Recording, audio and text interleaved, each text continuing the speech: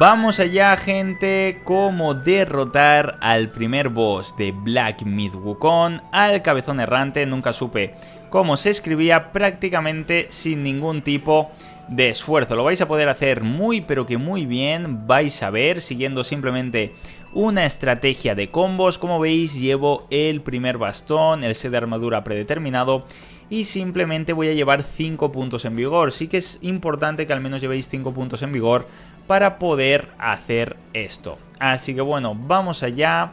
Como veis me sobran ya 3 chispas y otro combo que os recomiendo para el principio del juego sobre todo es que hagáis el de saltar X, Y y luego rodáis hacia atrás con la B. Este es un combo muy muy potente al principio del juego porque os permite ganar mucha distancia y también quitar mucha vida a los enemigos. Entonces lo que vamos a hacer es aguantar aquí en este árbol hasta que el cabezón errante se gire.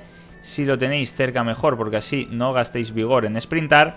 Y cuando lo pillemos de espaldas vamos a spamear X y vamos a hacer tres combos seguidos. Así podéis seguir la estrategia para derrotarlo lo más fácil posible. Así que bueno, ahí lo tenemos, se cae al suelo, cuando se caiga al suelo recuperamos estamina y cuando empieza a levantarse repetimos el proceso. Hacemos un combo, hacemos otro combo, ahí estamos.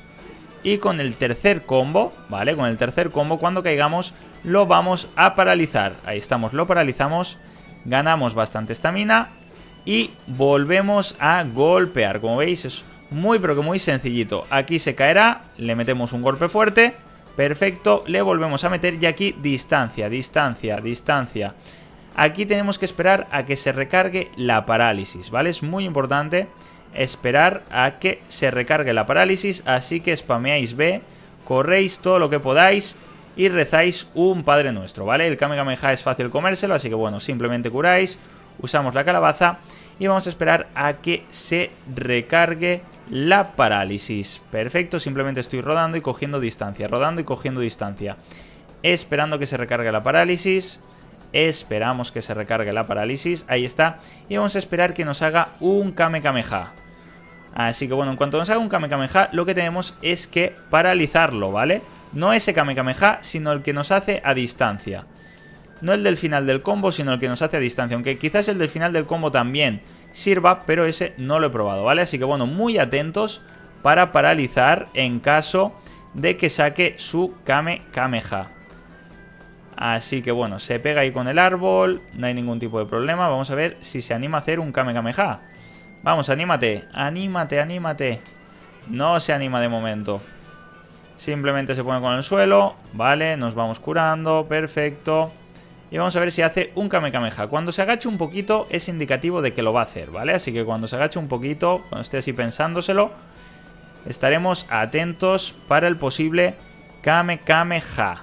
Ahí estamos, perfecto, y aquí nos vamos a posicionar detrás y vamos a empezar con los combos. ¿Por qué nos posicionamos detrás? Porque así no nos pega, así que bueno, como veis, primer combo, segundo combo, tercer combo, ahí estamos. Aquí no se cae, ataque fuerte, ataque fuerte, ahí estamos con un poquito de distancia y rematamos. Si puedo, si no me remata el a mí. Pero bueno, como veis, ya prácticamente no tiene vida. Recargamos un poquito de estamina. Y espectro errante derrotado. Como veis, es una estrategia muy sencillita con la cual podéis derrotar a este espectro. Así que bueno, dejadme vuestra opinión en la caja de comentarios.